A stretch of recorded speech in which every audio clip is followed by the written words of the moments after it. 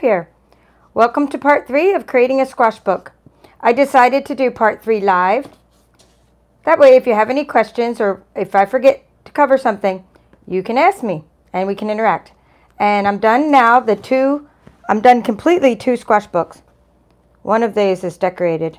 Let's see, one of these is not decorated on the inside. So what I'm going to do in this video is a few things and even some things that I discovered along the way. So I'm going to show you a few ways to close up your squash book by creating hardcovers.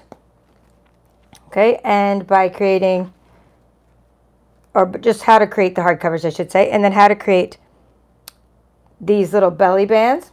I mean, or little ribbons that kind of tie around the back. Okay, so just, just things like that I'm going to show you. And this is a finished, as I mentioned, this is a finished squash book. So what I want to show you first is my ScanNCut. And just give me one moment while I grab something. One moment.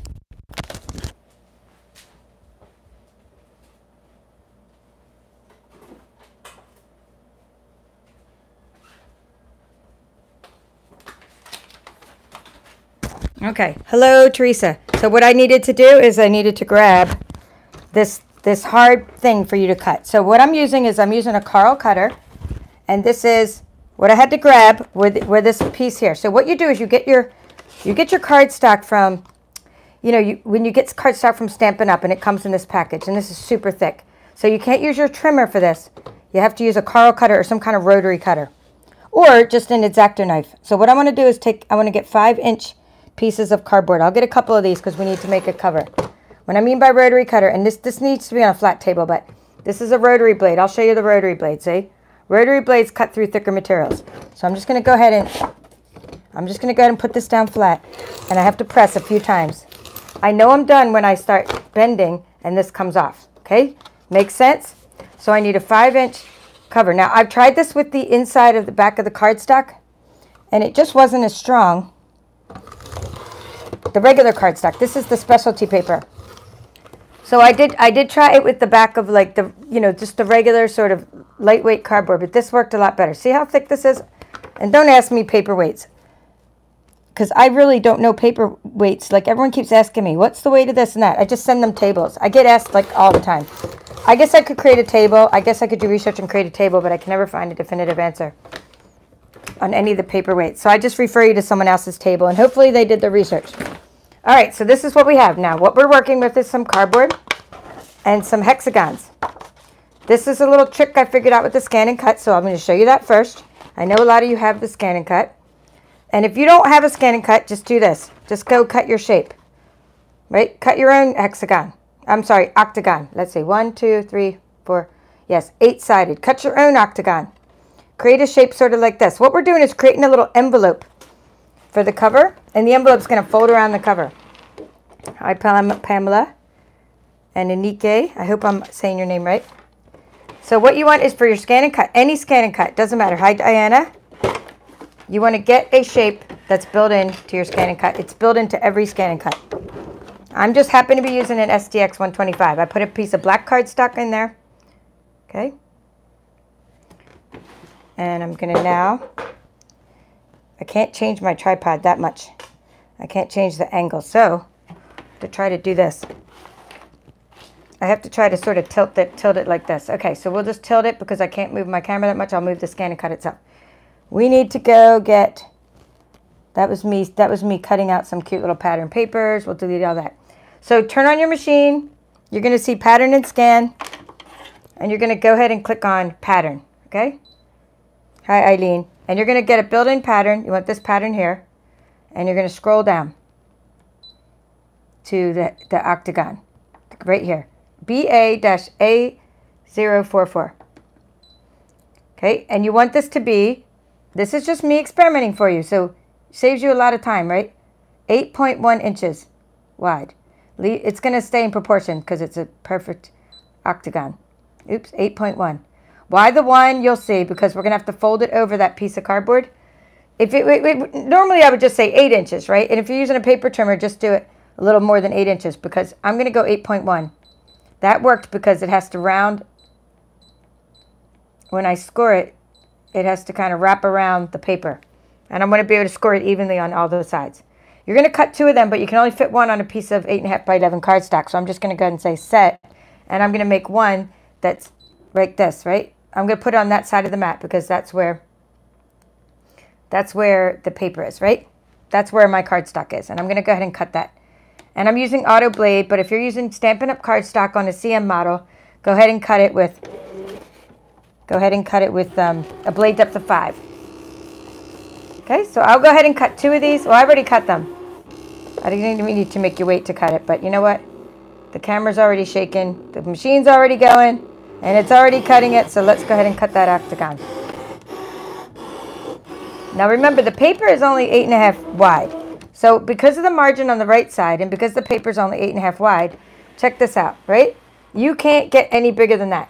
So you, you really don't want to go any bigger than that because we're sort of making a little envelope to go around the, the front of the cover. So see how close that is? It's a close cut for an 8.5 by 11 piece of paper. 8.1 inches. So cut two of these for your covers for your squash book. All right. And you're going to cut two of these pieces of cardboard with some kind of Carl cutter or X-Acto knife, two thick pieces. You don't try to use your paper trimmer. You will dull your blade when you try to use your paper trimmer to cut something like that thick. All right, now while I'm here, because I don't, I want to get rid of this machine. It's just, I need to do things with my snail dies later. I need to do things with my paper trimmer, my scoreboard. I need to just show you something while I'm here, but I'm not going to go ahead and cut these. I just want to show you how I got these other little shapes. Now, if you recall, maybe a couple weeks ago, I did a shaker card tutorial. Let's just go home and you can go ahead and save that if you want or delete it. I'm going to go into this pattern and I did a shaker card where I used this. You'll go into these shapes here and I used this postage stamp shape. It's really cool. I'll put it in the notes of this video. I use this shape here. Well, I use that a lot in this in this squash book tutorial. I think I used it in part two with the ScanNCut. And I showed you how to make extra little ones to put off to the right. But then just now, I, I needed something solid because my backgrounds were getting too crap. Like my front of my covers were getting too busy. So I, I cut some out in Bermuda Bay, or you could cut them out in cardstock. Okay, so what I did for these is I made them about, well, I, I can't recall, let's see, three inches? I can't recall how big I made these. Let me look, three inches wide, yeah. Yeah, three, I made them about three inches wide, right? And then the, then the height changed proportionally. When you change the, and you don't want to make these unproportional because the stamp shape will look funny if you change the proportions. So that's about three inches wide. And I made a bunch of these for the covers just so I can decorate. Because I'm going to be doing a few of these books. So anyway, that's the postage stamp shape. Now I'm done with the ScanNCut. I'm unloading my mat. And I'm done with my ScanNCut. Now I can close the front cover and make more room on my table now for all the other tools I'm going to take out. Right? So move that away. Get rid of this mat. So now I want to take Let's see, now we need our Simply Scored. Okay, Simply Scored. And we need our octagon, octagons. Okay, I'm going to tilt that down. All right, yeah, I like that we have a global community here from people all over the world. Well, that's why I go live at different times. I mean, then my Australian friends can watch me, my European friends can watch me, and my US friends. I mean, everybody can watch when I change the times up. Well, plus I never know when I'm going to have good internet.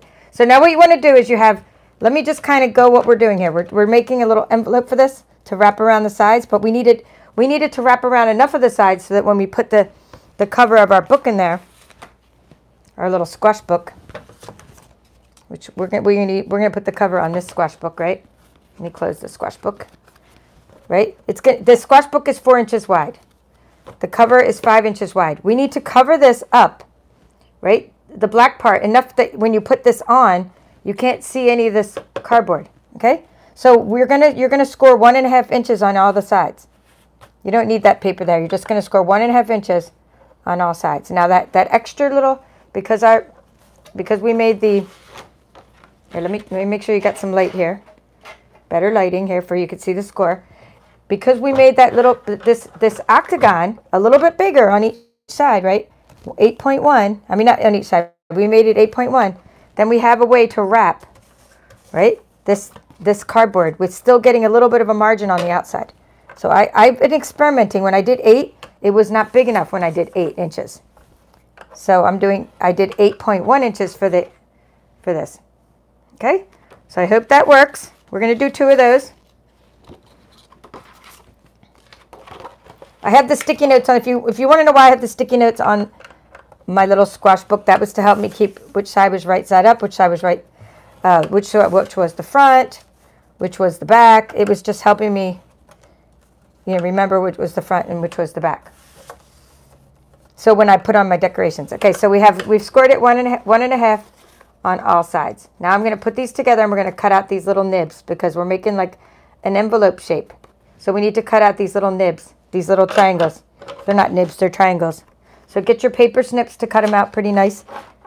And, and when in doubt, cut inside the line. Whenever you're doing envelopes, right? Whenever you're in doubt, don't cut outside the line. Cut on the line. We could have scored it first too, but I'm just going to cut first. See, it's better to cut inside the line than it is to cut on or on the other side of the line because when you fold it over, you want it to be even. And we can always trim it with our paper trimmers later. And it probably would have been easier to cut these little triangles out after I scored. But we will score as well. I mean, not score, but um, fold. Like with the with the bone folder, right? We need to, or what's it called? Burnish, burnish, burnish. And I did one without a cover. You don't, oh, you don't even have to have a nice thick cover on your squash book. You don't need to. You can actually do it cute. It's cute without a cover as well. So, I'm just lining this up here so I can cut these perfectly. Put the papers on top of each other. And I hope that you've done your homework and got your squash book already and all you need is a cover.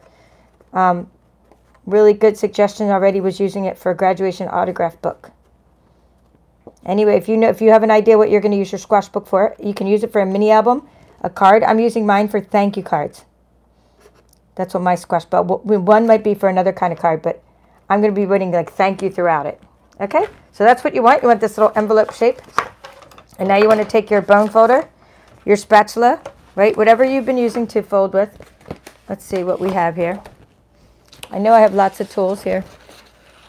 I'll just grab this. Whatever, whatever you use to fold with. Okay. Hope I have good lighting here. I, I turned on all my lights. I, when I do this, I like to, when I, when I score down, then I like to turn it over, right? When I make an envelope. I like to turn it over and then, because that's kind of like a valley when you, when you go down. And now I call that like the mountain. It just helps the paper not, not break. Now this paper's dyed all the way through. It's black all the way through, but if you have paper that has like a white inner core, it's very important not to get the paper to crack. But if the paper does crack, if you're using cardstock that cracks, and you can see the white inside, just get a black marker. Get a black marker and, you know, draw on it. It's all good. All right, so that's what we did. And um, now I don't think I need the scoreboard anymore. Nope, I don't need this Don't need that anymore. You want to take your little pieces of cardboard. Well, actually, we do need it to help line this up later. But see how, now we're going to wrap this perfectly. See how nice that is? I should have cut this a little bit smaller. Here, let's try this one. Yeah, this one's perfect. Okay. And I'm going to wrap it around. So now what, and that was what that little point, point extra was. The little point. Okay. So we need to now use I like to use both a combination of glue and, right, a little combination of glue and the, the Seal Plus.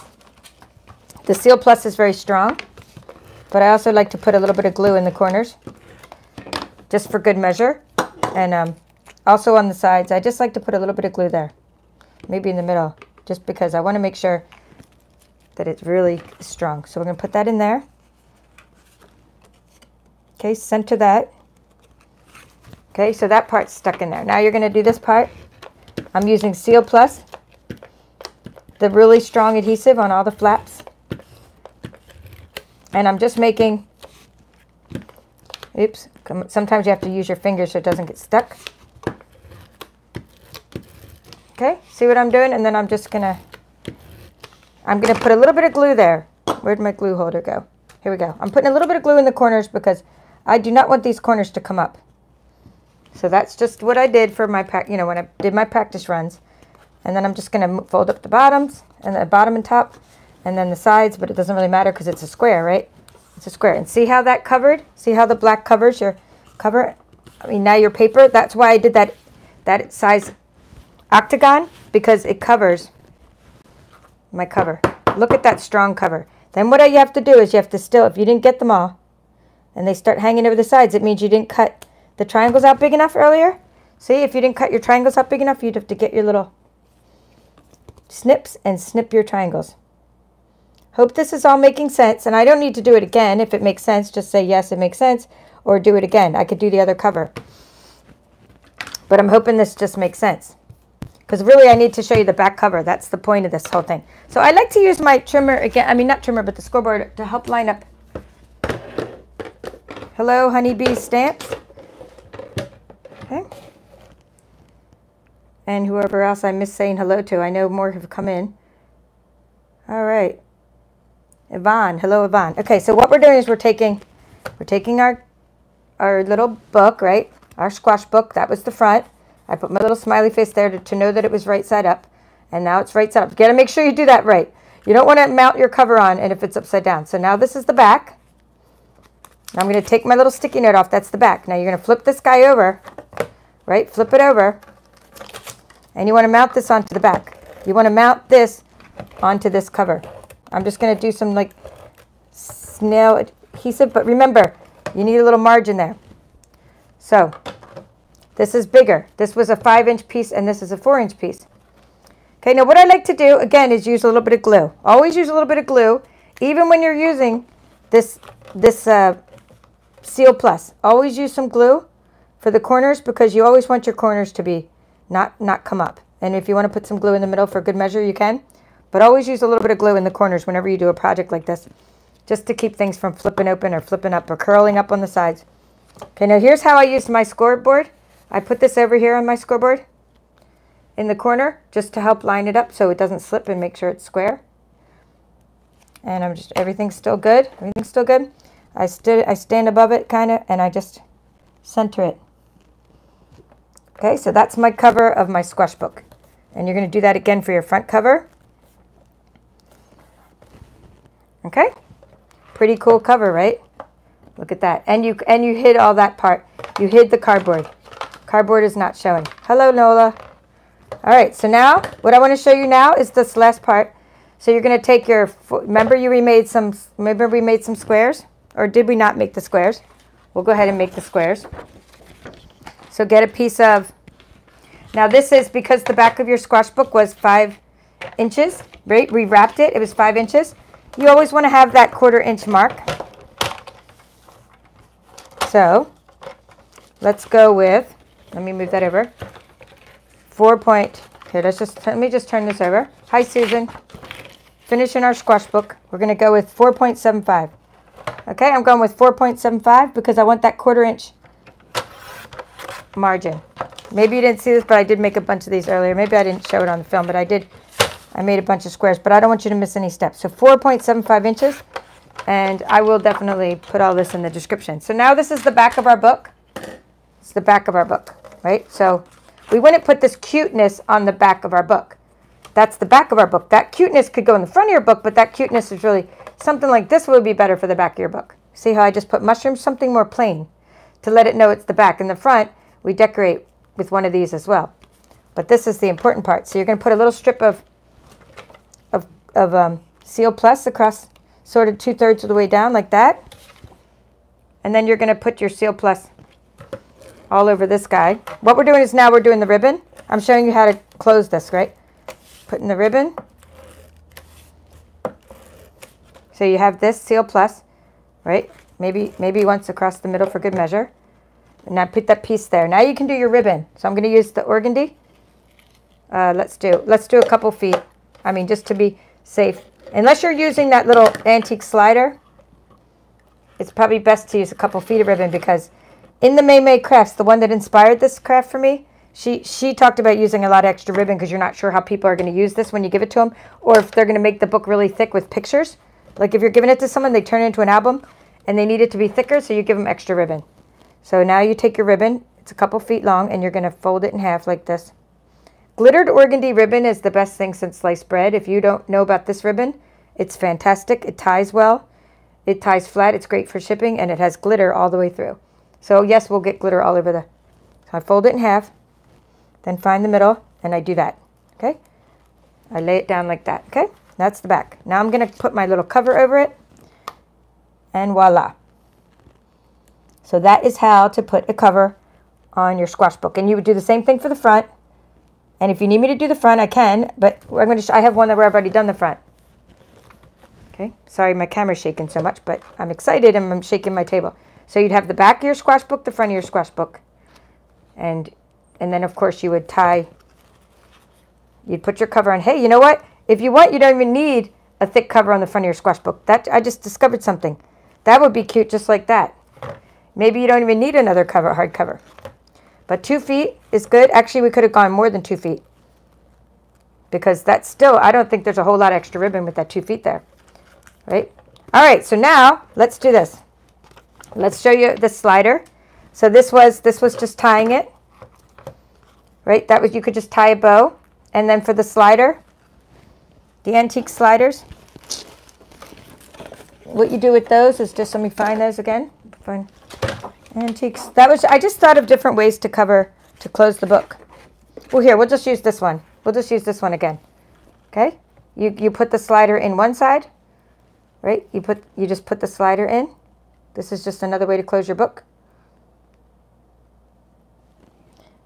And I did use glue on the end of this ribbon to try to keep it from fraying so much. This ribbon is retired. The glitter organdy ribbon is not retired, but this Bermuda Bay ribbon that I'm using here is retired because I just used something that matched. And I like that cover. Okay, so you just do something like that with your slider. These are called antique sliders, and these are retiring soon, but they're part of the World of Good Suite Many of you have them because you saw me use them as part of the World of Good Suite. And now this is another use for your antique slider. And heck, you could even use your antique corners in the top if you're doing a different theme. See? So you just put it in there like that. So that's another way to close your book. Okay, and this one that has the two covers. I mean, the, the front and the back. Okay? And then the third way to close your book was, this is what I did for this one, is I thought, let's not even put a cover on the book. Let's just make the, let's make this cuteness. And then for this one, I used the pool party sheer ribbon. And I thought that went really well because it's really thin and it fit. It, it was just nice under here. And this book's all decorated and it's still not that thick. So I don't think you even need a cover. It will look cute without a cover. There's the sheer pool party ribbon. And there's the squash book. Okay, so there's the cover. Let's put that cut. Let's put this little. I'll show you what that was. Show you how I got that. And then I'm just going to do a couple little die cuts to put something in my book. Because the, the title of this video, I said I was going to show you some embellishments. So, we want to put, like, this little shape was what I just talked about with the ScanNCut. Let's find. Remember, we've been cutting out extra shapes whenever we were cutting out our we were cutting out our things and I said cut out extra shapes when we were cutting out our triangles. In the last video I said I showed you how to cut out these triangles with your ScanNCut.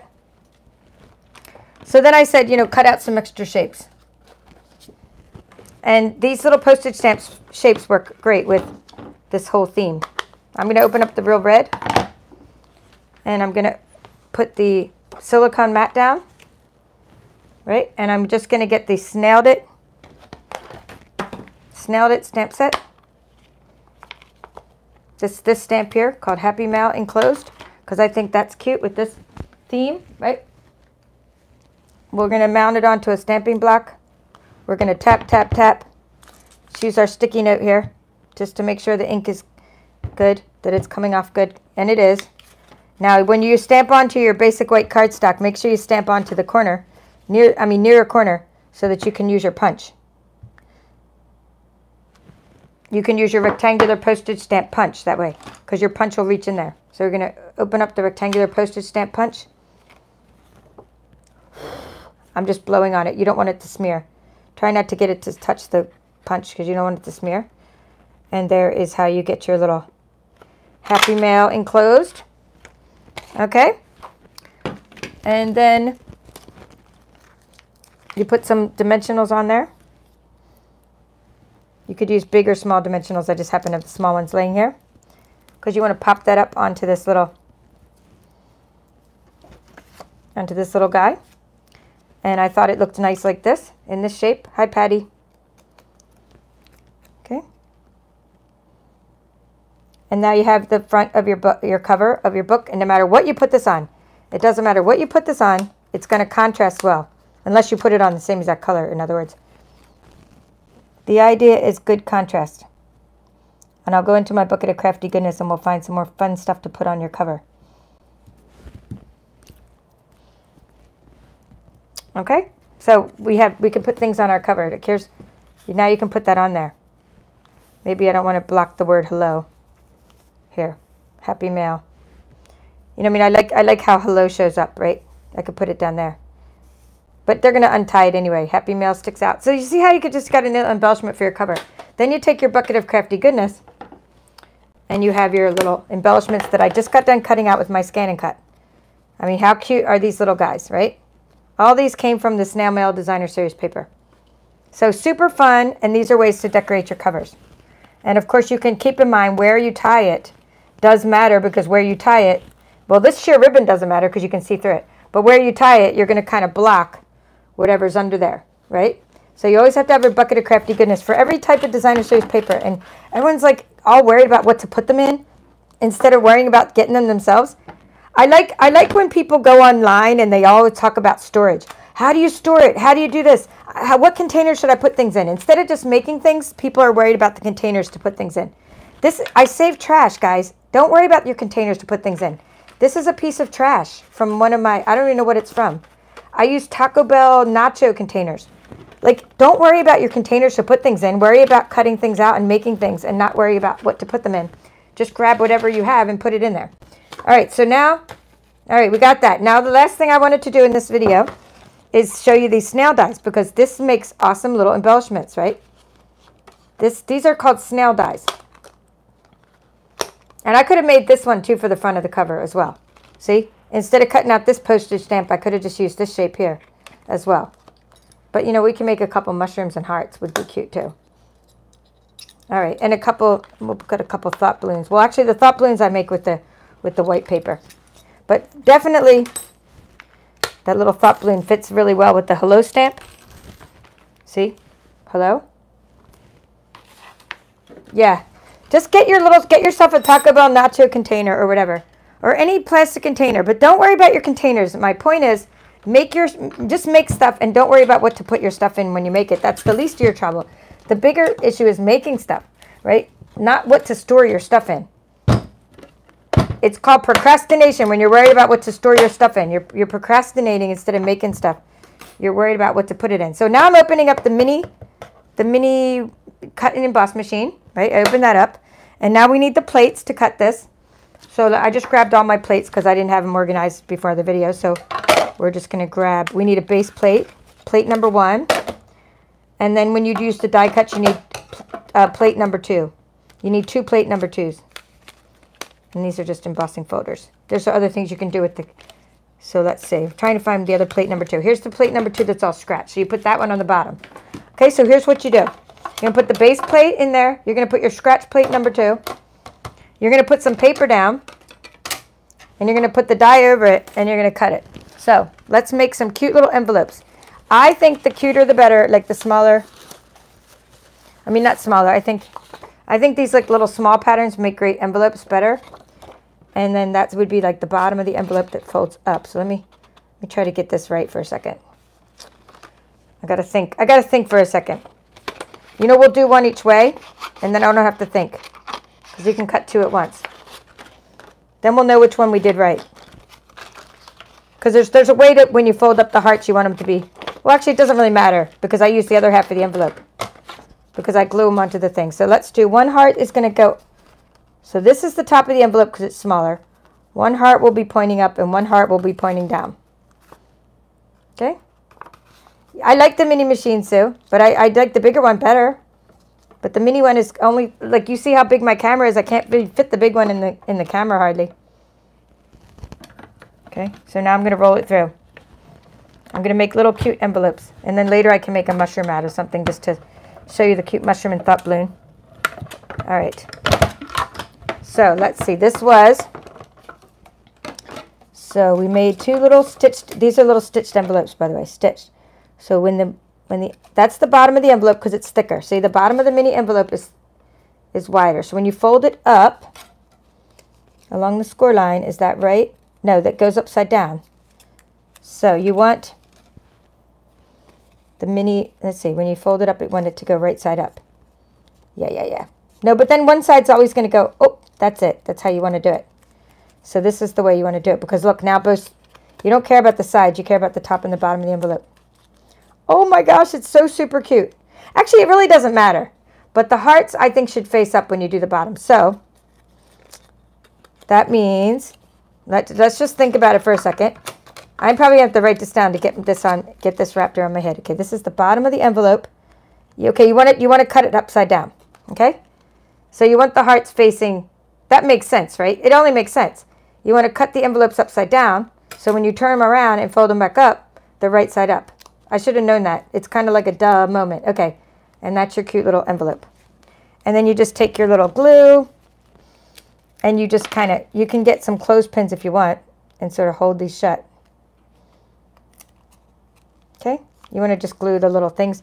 And then if you, if you want to put something in them, like the little letters, I mean, I'm going to put another piece of paper in that. Do this because if you want to get your papers in there, right, you don't want the glue to like stick, you don't want the glue to ooze out into the envelope and shut your envelope shut. So get a little piece of paper and rub it around while you're shutting your envelope. Okay, and let's do another, let's do one with a little letter. Okay, I know there was a little letter die. Here, here it is. This, this cute little guy. So let's use, and let's make a thought balloon and a letter. Then we can stamp on the letter. I'm just, what I'm doing now, if you just came in, I'm showing you how to make cute little decorations for your, um, for your squash book. Okay, we'll do a little thought balloon. We'll make a little mushroom. Okay, and we're going to make, now we're going to make the extra embellishments. The thought balloon, the, the little part that goes in the envelope, the little message, because we're going to stamp on it, and the little hello thing, and the mushroom. So now we have extra things for our squash book. Of course, you would just rinse and repeat and make lots of these. Okay, so we have our thought balloon, our mushroom. Mushroom we can just color. We'll, we'll color that with you. Now this, this little guy gets stuck in there. Get a piece of tape. Get it out, right? Get it out with tape. There's a little stitch die. I probably could have stamped it before I did the die cutting, but that's how to die cut. Let's move that off to the side. That's how to make the cute little envelopes. Put this on here. Okay, we have that, we have that, we have that. We need the little hello. This is the hello stamp. Okay. We'll use Bermuda Bay. And when you don't have photopolymer stamps, it probably was better to, it probably would have been better to, uh, to, you know, stamp and then try to center it. But I want this to kind of stick out of the envelope, so I'm going to kind of make it go to that side more. Okay, let me, let me, let me think for a second. Hold on. Before I stamp. See, I want it to sort of stick out like that. So yeah, I want it to be up on the top left more because it's going to sort of stick out of the envelope, if that makes sense. Like that, you see? So that's why I stamped it the way I did. Now just get a little dimensional and hold it, or glue dot. Just get a glue dot. Just get something to hold it in there. Into your envelope so it doesn't slip out. And you, I'm going to do my thank you notes. I'm going to put thank you in all the stamps I can find for one of my squash books. I'm going to find all the thank you stamps I can find and make all these little envelopes with, with thank you in them. Okay, let's see, we could put some in the thought balloon as well. That would be a little snail saying hello. Okay, and now I could show you how to color the little the little mushroom. So we're going to put that in our squash book and let's get a little blending brush. Okay, so for your blending brush, when you use your blending brushes, dip into your ink first. I don't use my blending brushes straight in the ink like I would with a sponge brayer. I put them I put them on my stamping block first, the ink and then you can sort of tap around and you can color your mushroom whatever color you want. It looks pretty cool. We could put that in our squash book. So that's how to make embellishments. We'll glue that one right on there. Okay. And we will now open back up our squash book and put some decorations in it. Let's move that out of the way. Oh, another thing you can do with your blending brush, what's great is you can do your edges. I like doing edges for you know, for the extra little dimension of coloring around the edges of things. All right, so let's move that away. And let's get, we got our little envelopes. Let's see. I'm just trying to move things away so we don't get ink on our squash book. I, I can't even find my squash book at this point. Where the heck did it go? Here we go, here we go. Here it is, here it is. This is the one that we can decorate the inside of. Or we could decorate the inside of any one of them, but this is, the idea is you don't want to make them too thick because your embellishment's inside because it's going to be harder to close. So you, you know, you can, I, instead of making all these things stick down there with dimensionals and making them all puff up all over the place, I would take these, I'm trying to, I'm trying to I would take these and I would probably, let's see, like you want to take the, you want to take the surfaces that are, that are open up like that. And you want to put an embellishment there and you want to put an embellishment there. See, like big plain surfaces, but you want contrast.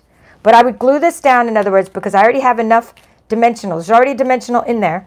So I would glue that down to, to not make my book so, so thick in the end. Just put a little blob of glue, little dabble do ya. And then don't forget our little bucket of crafty goodness because we have all these things we cut out earlier when we were cutting out when we were cutting out the different triangles. Like down here, I could do something like this. You know, uh, let's see. I could do something like this because this one, or you know what, I'm trying to just look at which one I could use down here. I want to use contrast. I don't want to use this one because it it's, it's like the same one as the pattern above it, but that one would be cute, right? And the mushroom would be really cute inside there. So something like that would be really cute.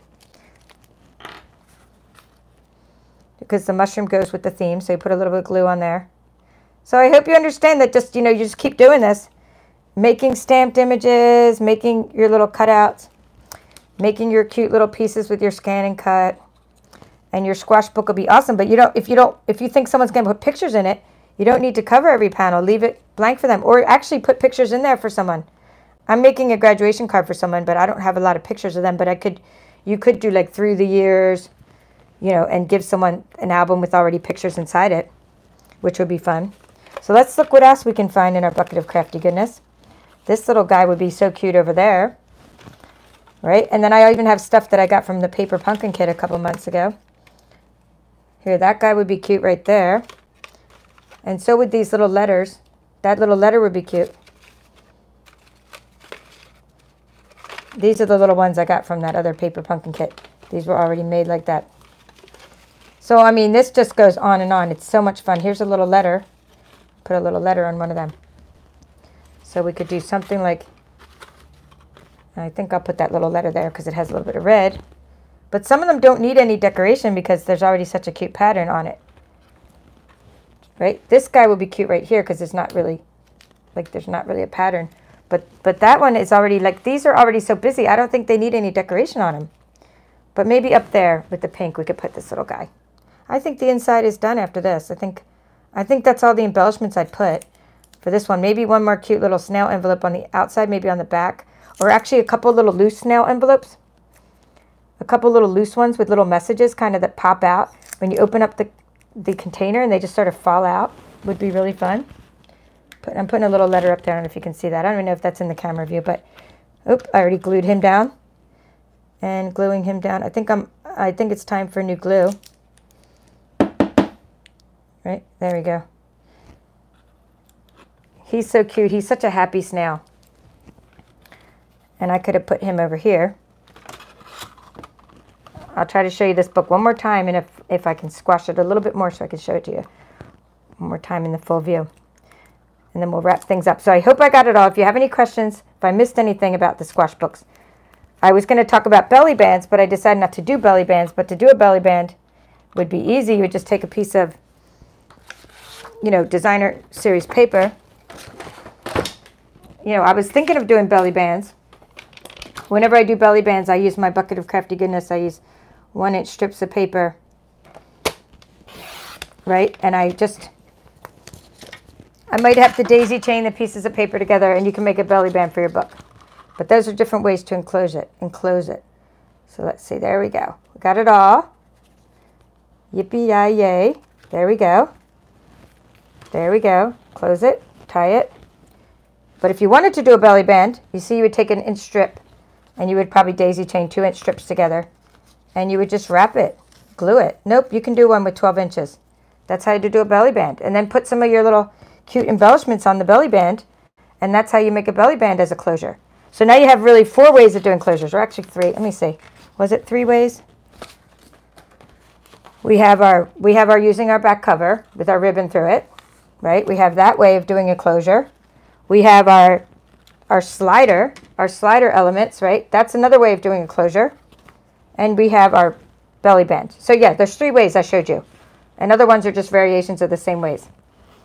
Okay, so there we go. We'll open it up one more time as I read the comments and then I can show you this last sort of. Oops. I love the sheer ribbon because you can see your embellishments through it. I need to be able to tie ribbons better. If I tie them upside down, they tend to get the little the little ends of the ribbon stay down. Sometimes I have to tuck my ribbon under. I, if I turn upside down, my, my, my tails of my ribbons go the right way. All right, this was so much fun making squash books. I'm glad I challenged myself. Brenda, don't worry, you didn't miss it. You just watch it. It's all recorded. Patty, let's see. Uh, let's see. Got Patty. doesn't have a question? You missed your tutorial on how to make the book. No, yeah, it's just right there in my channel. The book, I showed how to make the whole book itself. So bottom line is you just take cardstock and you, you know, you fold it different ways. You need three different coordinating colors of cardstock. That was in part one. So as we close up here, part one was I showed you how to take three coordinating colors of cardstock. Like here's Bermuda Bay, Basic Gray, and real red and how to glue those together. In part two, we used the ScanNCut where I showed you how to create the different triangles for creating your shapes for your for your book. And in just part three, I showed you how to make covers for your book. Again, we used the ScanNCut a little bit. I showed you how to decorate your book using snail dies, making this little envelope, how to make your embellishments. I have another video on how to cut out these pattern paper with the ScanNCut. Okay, so I have another I have another video on that too, so I'll link that in the description. But that's how to do it. I'm glad I challenged myself. I joined a swap. I've already sent off my first book that was in the first video. I've already sent that off. I'm glad I I'm glad I did that because it challenged me to learn a new project. And I looked up a video from a few years ago by May May Crafts. I used that as my guide and then I did my whole ScanNCut thing, the whole paper chef thing. I did it with snail mail. That was a twist on it. I did it with, I did my own thing. I didn't, I didn't always put hard covers on it. I cut out different shapes. I mean, I pretty much did my own thing, but using that as a guide. That's how you, that's how crafting works. You use other things for inspiration. Okay, lastly, I went to the post office to mail this graduation card. and uh, this is what happened. I stand in line. My, my lines are so long at the post office, right? That I stand in, at the post office and that's when I write my messages. I went like this to write my message to my friend who's graduating from college and there was no white paper. I was like, oh darn. So I have these white pieces and I'm going to stamp something on the inside again or congratulations or something. I'm going to go ahead and write the message at home this time. And Monday I'm going to go mail this. But that's what the shaker card is and it's related to this project. That's what I wanted to show to you. I almost mailed it. I tried to mail it. I had nothing to write on. I was like, if I had a, one of those fluorescent pens, you know, like I would have written a message, like the glow pens. But it was it's black in the inside and I needed a I needed that paper. But anyway, I was all ready. I had my little Happy Mail envelope to put it in. There's a gift card in here. I was all ready. Anyway, it never got in the mail, but it's still there's still time.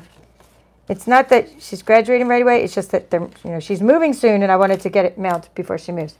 But that's that's another variation of this project using my bucket of crafty goodness, all the little extra embellishments, and it's kind of related to the snail mail squash book.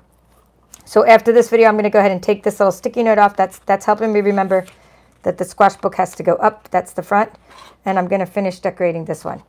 So, or I might not. I mean, I think the back cover is cute too. Just having a back cover only. Yeah, I'll probably put a cover on it because I've already made one. So in this video, I did teach you how to make it. And I even have extra uh, uh, octagons to make more covers with. Well, that's all for now. This is the Paper Chef. Thank you for joining me. And I hope you enjoyed this squash book tutorial.